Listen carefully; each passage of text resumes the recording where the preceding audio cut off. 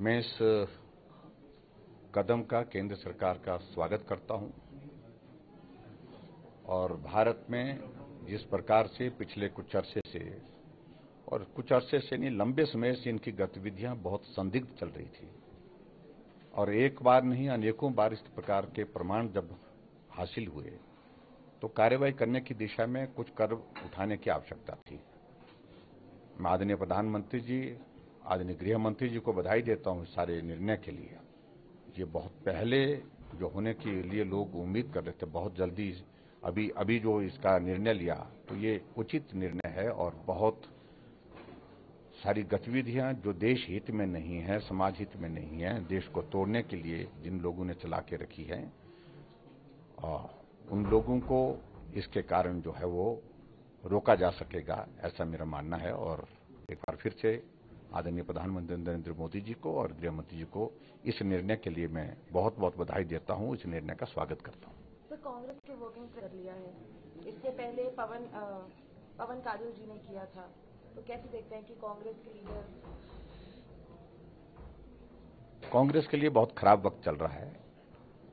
और खराब वक्त जो चल रहा है उसमें आप देख रहे हैं पूरे देश भर में वो परिस्थिति है और हिमाचल प्रदेश जो चुनाव के मुहाने पर है वहाँ पर भी उस प्रकार की परिस्थिति है। कांग्रेस को मज़बूत करने के लिए एक व्यवस्था की गई थी। अध्यक्ष के साथ चार उपाध्यक्ष ने, सॉरी, वर्किंग प्रेसिडेंट। अध्यक्ष के साथ चार वर्किंग प्रेसिडेंट भी बनाए ताकि कांग्रेस पार्टी को इकट्ठा रखा जाए, उसको मज़बूत किया जाए। ऐसा एक प्रयत्न करने की कोशिश की थी। और उसमें से दो working president Bharatiya Janata party में आ गए पवन काजल जी वर्किंग प्रेसिडेंट थे, कांगड़ा के विधायक वो पहले आ गए और नालागढ़ के विधायक और कांग्रेस पार्टी के वाइस प्रेसिडेंट स्टेट के, वो भी हमारी पार्टी में शामिल हो चुके हैं। और आज मुझे इस बात की खुशी है कि हर्ष महाजन जी, जो कांग्रेस पार्टी के वरिष्ठ नेता और हिमाचल प्रदेश सरकार में लंबे समय तक मंत्री भी रहे, कांग्रेस पार्टी के वर्किंग प्रेसिडेंट थे और बहुत, मैं कह सकता हूँ वो हॉली लॉज के बहुत करीब रहे। सारी व्यवस्थाओं का संचालन, सारी प्लानिंग की स्ट्रेटेजी बनाने में उनकी एक बहुत अहम भूमिका रहती थी, ऐसा हमें हमको बताया गया। तो आज वो हमारी पार्टी में आए हैं तो मैं उनका स्वागत करता हूँ, अभिनंदन करता हूँ, और आने वाले समय में मैं ऐसा कह सकता हूँ कि आने वाले समय में और भी चीज़ें इस प्रकार की देखने को मिलेगी। आधी कांग्रेस, यानी कि आधी कांग्रेस जो है वो पार्टी छोड़ती जा रही है। तो उनका स्वागत है, अभिनंदन है, और हम उनको पार्टी में अपने पूरा सम्मान देंगे, पूरा स्थान देंगे, पहचान देंगे, और उनके कद के मुताबिक। काम करने के लिए उनको अवसर देंगे। आखिरी क्वेश्चन से प्रधानमंत्री जी पाँच बिलासपुर आ रहे हैं उसके बारे में थोड़ा मुझे इस बात की खुशी है कि आदरणीय प्रधानमंत्री जी का हिमाचल के प्रति जो स्नेह है जो हमेशा उनको आकर्षित करता है हिमाचल आने के लिए और हमारा सौभाग्य है ये हिमाचल वासियों का। अभी आदरणीय प्रधानमंत्री जी मंडी में एक कार्यक्रम में आ रहे थे जो यूथ की रैली थी। और पूरे देश भर में संभवतः इस प्रकार की वो पहली रैली थी जहाँ पूरे प्रदेश का यूथ के साथ उनका इंटरेक्शन होना था। मौसम खराब होने की वजह से वो व्यक्तिगत रूप से वहाँ पहुँच नहीं पाए, लेकिन वर्चुअली उन्होंने पूरे हिमाचल प्रदेश के एक लाख से ज़्यादा युवाओं को संबोधित किया। उसके लिए मैं उनका धन्यवाद करता हूँ।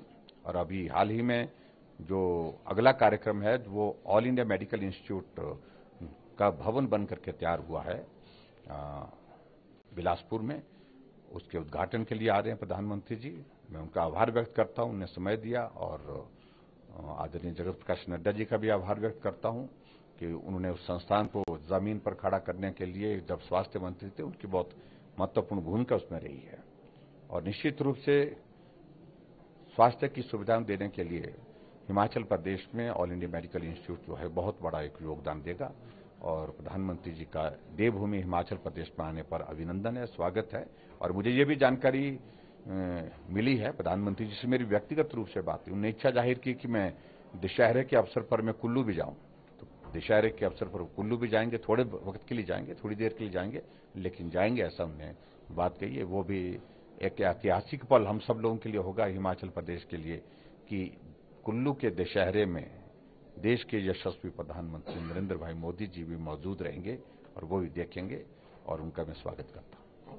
थैंक यू सर आज चमियाना में अटल सुपर स्पेशलिटी आयु विज्ञान संस्थान में आए हैं यहाँ के इनोग्रेशन किया है तो उसके बारे में थोड़ा बताइए। हिमाचल प्रदेश में हम स्वास्थ्य की सुविधाओं को लगातार बेहतर करने की कोशिश कर रहे हैं और मुझे इस बात की खुशी है। छोटा प्रदेश है, लेकिन छह मेडिकल कॉलेज गवर्नमेंट सेक्टर में हमारे हैं, एक प्राइवेट सेक्टर में है।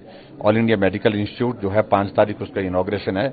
आज हमारे लिए प्रसन्नता का विषय है कि नवरात्रि के इस अवसर पर अटल सुपर स्पेशलिटी हॉस्पिटल जो हमारा चमियाना का जो बन करके तैयार हुआ, उसका विधिवत उद्घाटन करने का अवसर प्राप्त हुआ। और मुझे इस बात की खुशी है कि दो सौ बासठ करोड़ की लागत ये भवन बन करके तैयार हुआ। और उसके साथ साथ में यहाँ हिमाचल प्रदेश में अब सुपर स्पेशलिटी की सारी चीज़ों को लेकर के बेहतर ढंग से मरीजों का इलाज करने की स्थिति में हम हो पाएँगे।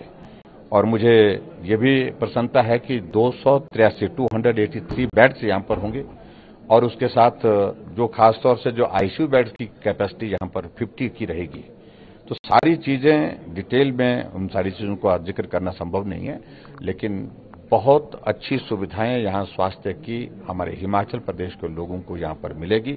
और निश्चित रूप से इसका एक और हमको लाभ रहेगा, जो आईजीएमसी पर जो जो लोड रहता है प्रेशर रहता है, वो भी काफ़ी हद तक जो है वो कम होगा और बेहतर सुविधाओं के साथ हम लोगों का इलाज कर पाएँगे।